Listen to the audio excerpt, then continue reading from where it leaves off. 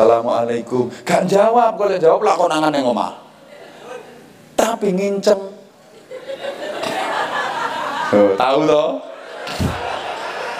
Terus mana uluk salam nih? Assalamualaikum. Gak dijawab. Padahal di rumah pura-pura turun ke kamar. Sampai tiga kali loh oleh uluk salam gak dijawab. Panitia meneh, Assalamualaikum. Menunggu yang bidek kayak ngono. Kayak orang Jawa kok. Yen ora ngono ngapusi. Wong anake lo dipesen.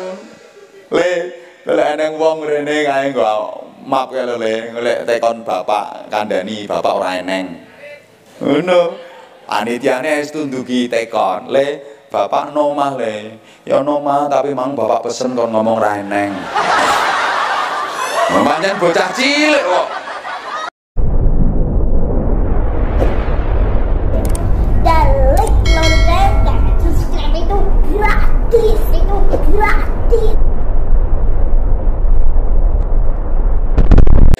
Saya ngomong ini bukan tanpa dasar para jamaah. Saya ini negara-negara sing setempel Islam nyatane yo kesro.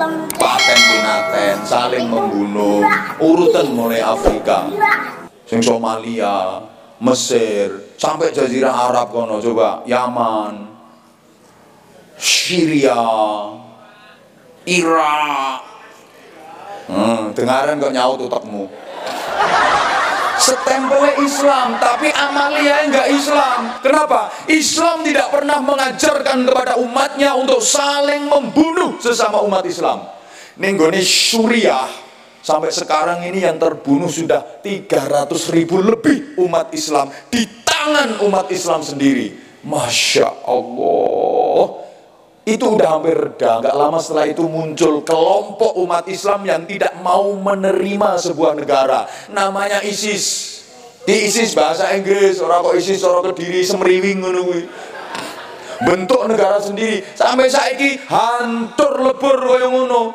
Subhanallah peperangan terus urip ra iso tenang ibadah pun nggak bisa tenang. Oh diluk-diluk bom, diluk-diluk bom kon tenang piye? Jajal wae Pak, pas ngeloni bojomu nang moro pinggirmu ana bom, apa kowe gak melu wayu karo koteng-koteng ngono kuwi. Lah kowe tepak ngaji ngene iki jajal terus moro-moro ana bom nyasar piye perasaanmu kaya ndak karo-karon buyar no. Wong penak-penak ngene kok moro. Kaget ya wes.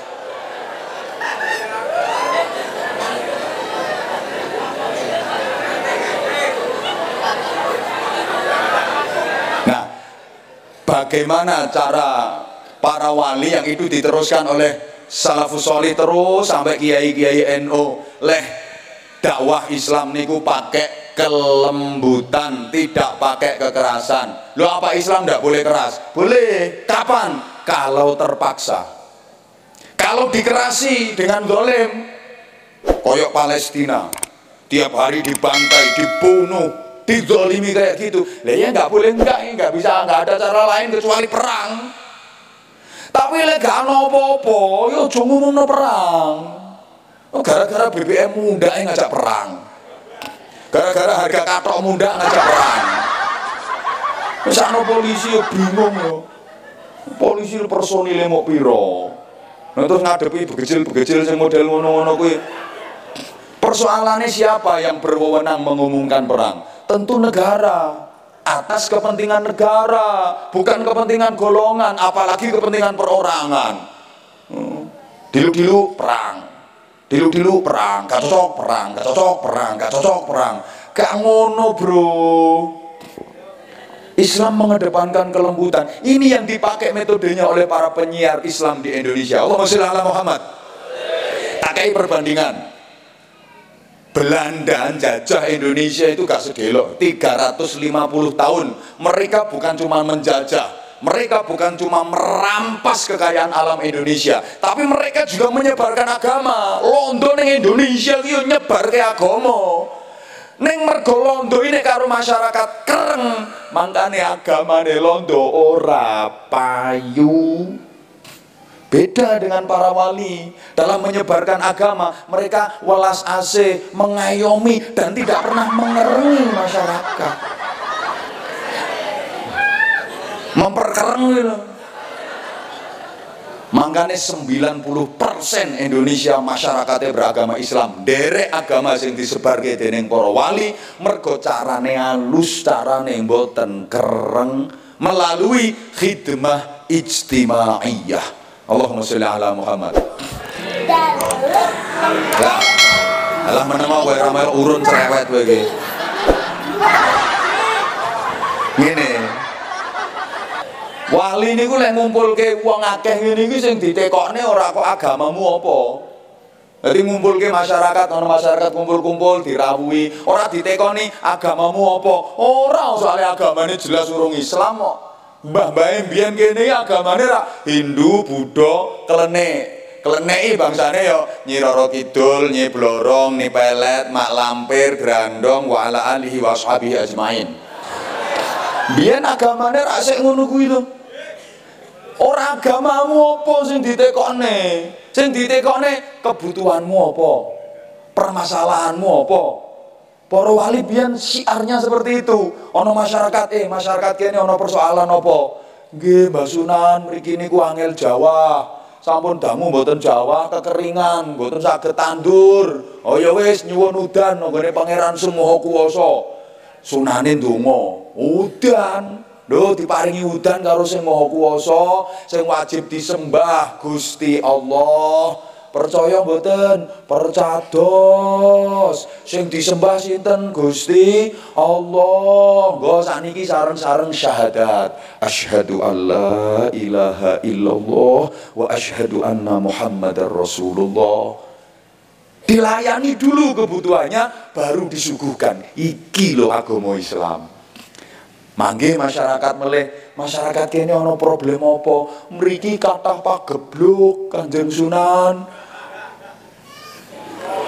Kathah penyakit esuk loro sore mati, sore loro esuk mati kathah wabah. Ya wis ndonga ya nyang pangeran sing maha kuwasa. Wa nunazzilu minal Qur'ani ma huwa syifaa'un wa rahmatul lil mu'minin.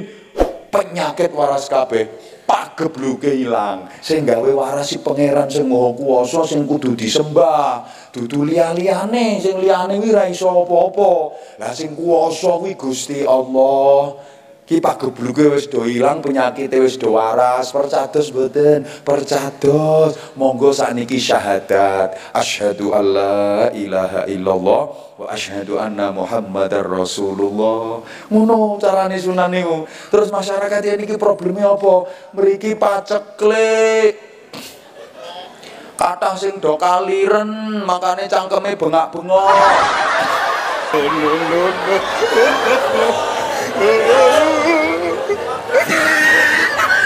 ku terus Kanjeng Sunan ini berusaha bangun ekonomi, pados bantuan, bagi-bagi sembako. Lho sampai Sunan Kalijogo sing sik brandel Lokojoyo kae ngerampasi donyane wong sugih sing dolim-dolim kae dindum-dumno nang wong kere-kere ngono kuwi. Pemerataan ekonomi bagi-bagi roti, bagi-bagi jagung, bagi-bagi beras itu sudah dilakukan oleh para wali. Kebutuhannya tercukupi baru disuguhkan. Iki lo agama. Lah saiki kuwale. Sing bagi-bagi malah agama liya. Lah sing wong Islam kok tambah kereng-kereng.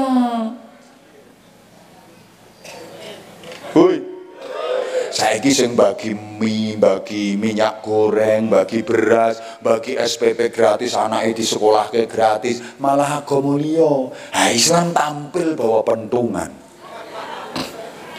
Malah gak simpatik. Keliru niku.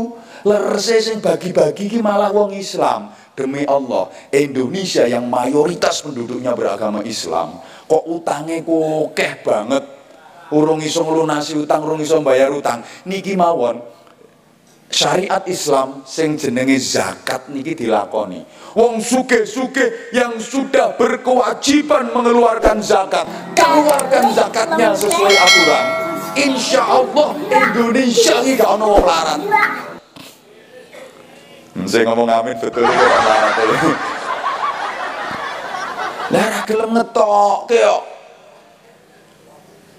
Oi. Lah terus. Lah ngapunten kula ngaji ngeten iki soal iki acara ini kan pelantikan.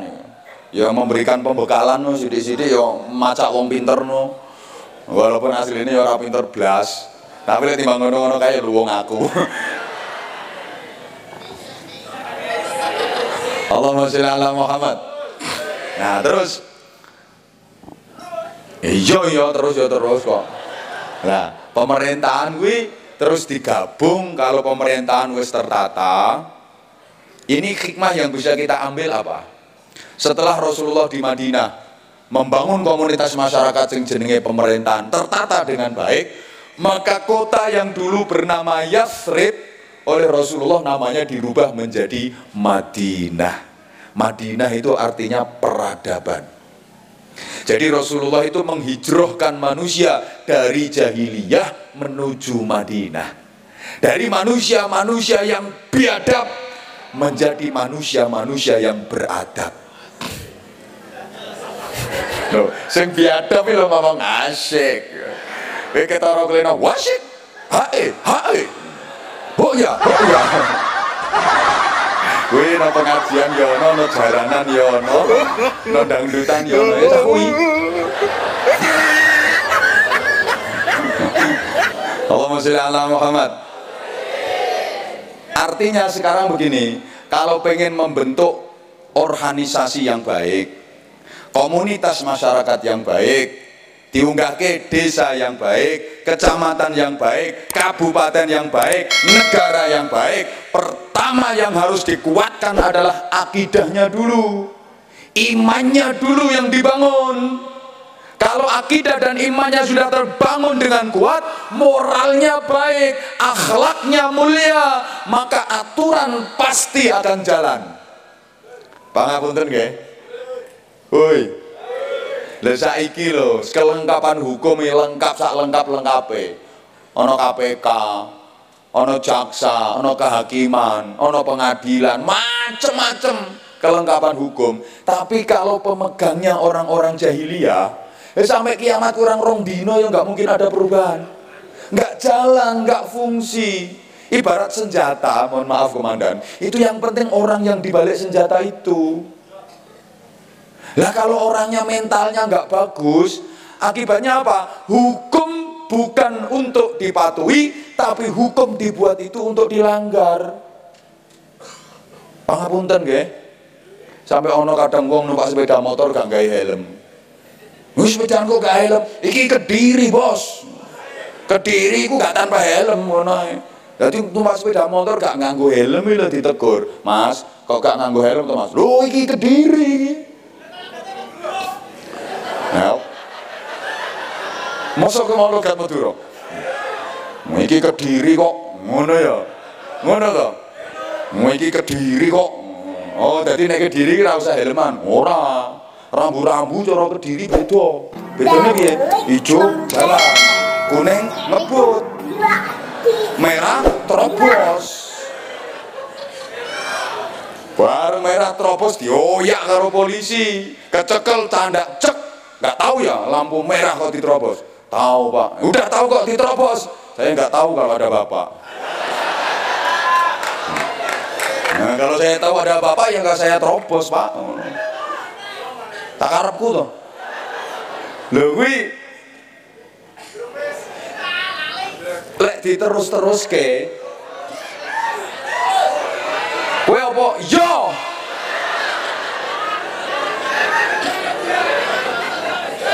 Lah kowe apa ora ngerti to yen salat kuwi wajib? Ngerti. Lho kok ora mbok lakoni to? Ya soalnya ora rumongso nek diawasi Gusti Allah. Ini sesungguhnya bukan persoalan eman, tapi persoalan iman. Nah kita itu kalau untuk urusan perjuangan agama juga begitu. Duitnya oke, ngono kuwi ditekoni di di di sapa? Mbak alhamdulillah Mbak yo sampean tambah makmur kita rezekine kok tambah lancar. Eh ya alhamdulillah Dek. Mangkane Mbak sampean saiki ketok seger. Mu ndak lemu. Mulane seger maksudnya segerdu.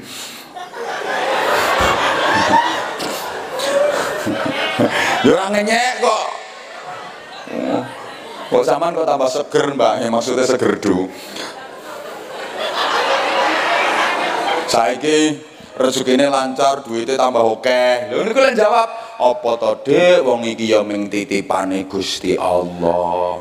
Ya rumangsa nek titipane Gusti tapi lek wis kadung nyekel duit kena fitnah donya wis sing dipikirke ora kok hukume halal apa ora manfaate piye ora kalau bicara donya duit sing dipikirke jumlahe sing penting akeh sing penting aku menang sing penting aku oleh sing penting dari wekku sing penting akeh perkara hukum hmm ra urus bal kedual ra peduli kadal aspal, gragal, kadal.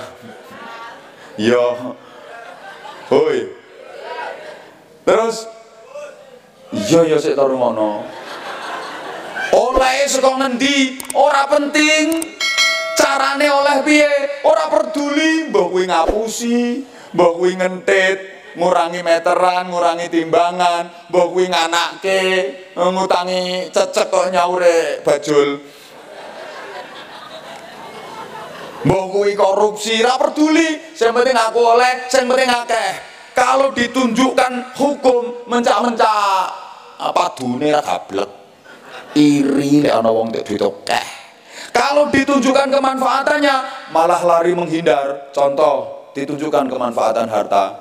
Pak, Bu, harta zaman itu agar manfaat ya untuk masjid, untuk madrasah, untuk untuk pondok-pondok pesantren. Lu ngono kuwi duwe-duwe akeh terus ono panitia pembangunan masjid nggawa map isine sumbangan permintaan sumbangan niku lho. Isek nang ratan urung mlebu omah ngono ku no bali no bali no bali di ruang-ruang tamu rumah. Ketok ono panitianya kelima hmm, arep narik meneh.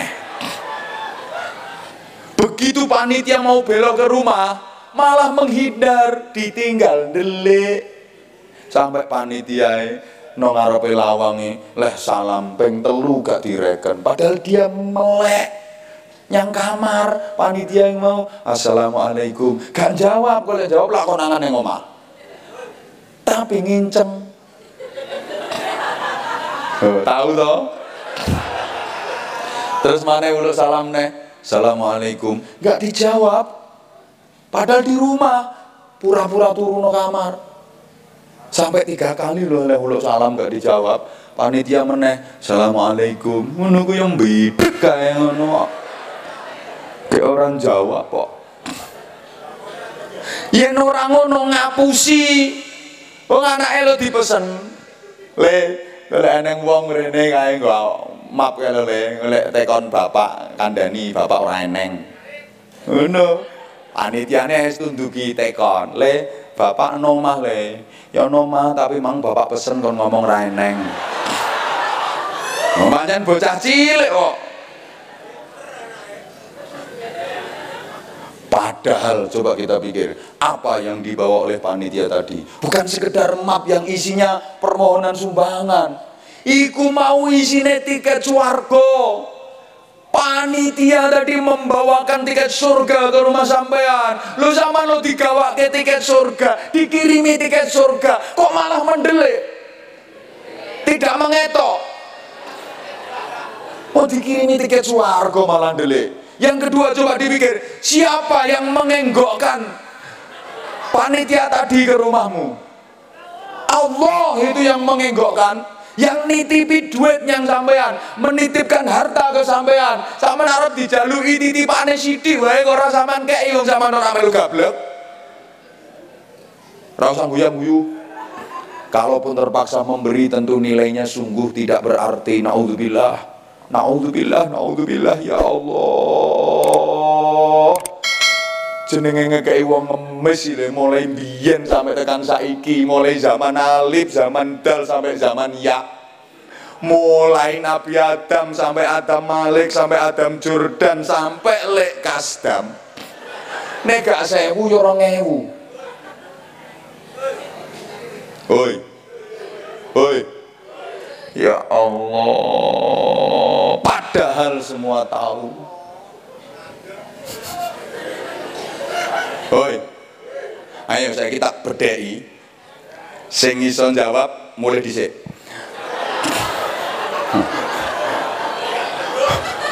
Sodako 10.000 kalih 20.000 ganjarane akeh ndi? 20.000. Banter ono. Kapan gak dijawab? Tak tinggal mulai.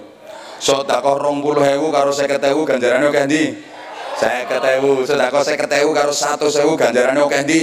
Satu sewu, saya ini misalnya ono infak keliling ini yang gue bangun masjid, sampeannya gue duit, yo satu sewu, yo seket sewu, yo rong puluh sewu, sing dicemplung ke biro?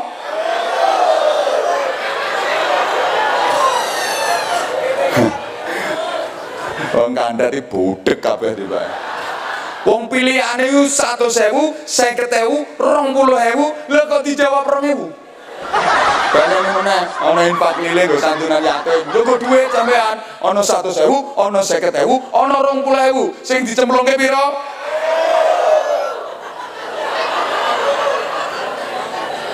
Rong ewu dipilihke sing lungset tok. Tekan omah dompet dibuka goleki 50.000 ra eneng iso astagfirullahaladzim. Keliru mang sing 50.000. Gara-gara keliru 50.000 lho sampai masuk angin telung wulan. Kita itu kenapa begitu ya? Mau sedekah satu sewu ditarik pesan satu sewu, iso kaya ono sembrani ini, lep ketarik balik meneh. Hoi, hoi. Nah, ini misalnya, kita kalau punya duit itu jauh lebih mementingkan dunia daripada akhirat. Kon kayak kartanu yang bulat soalnya bayar.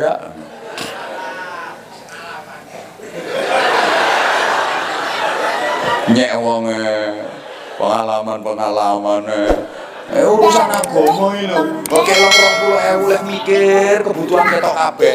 Nyumbang nganggo yatim rong puluh ewu ini mikir Sandalku cepot ya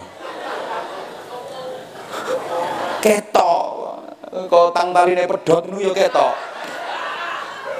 Tapi lek tepanggo nuruti seneng, mbok nyang warung mangan lho tek 300.000. Liyane lho jan ketok. Mbok ana guru TP ki ora bayaran awake kuru-kuru lho ya ketok. Tuh, kita memang seperti itu harus ngaku. Kalau dipilih, di- dihadapkan pada pilihan dunia dan akhirat, mesti menang dunyane. Saya misalnya yo, jenengan di duit eh, satu sewu wes, misalnya terus ono eh, pengurus yatim butuh duit santunan, zaman dijalui satu sewu. Pas bareng ono tiket pertandingan sepak bola kelas atas antara Persik Kediri melawan Manchester United. Yang guyu berarti merendahkan bangsa sendiri gue jenenge. Apa siapa mending ngimpi mau ya? Ya ora kok iki ndongake kok sapa ngerti sok Persik iso musuh Manchester United. We macan putih musuh setan merah. Ya ya kadek ra tau ya wong kene iki gibol kok ya. Lho Kediri Persik iki julukane kan macan putih to. Ya, MU julukane setan merah, jadi merah putih. Apa sampean gak ero sampean kok. Apa ngerti Persik tandinge karo MU. Insyaallah Persik remek.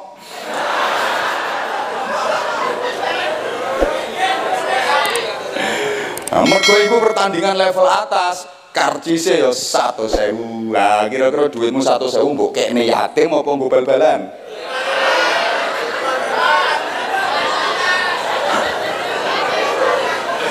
Eh, seorang satu sewu kokean, seket sewu.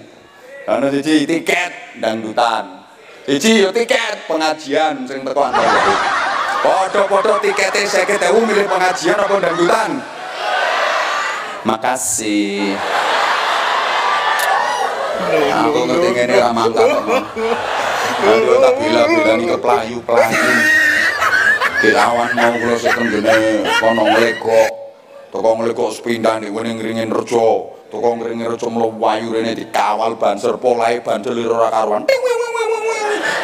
Ngalang-alang sirinene polisi ya banser kene. Tapi seneng aku banser kene kompak semangat itu seneng banget aku. Cuma kadang-kadang yang begitu teko kawal sampai gak salaman barang wis osik kabeh mansere dhewe sing ngerebut salaman. Jenenge banser nakalan wong liya gak oleh salaman dhewe sing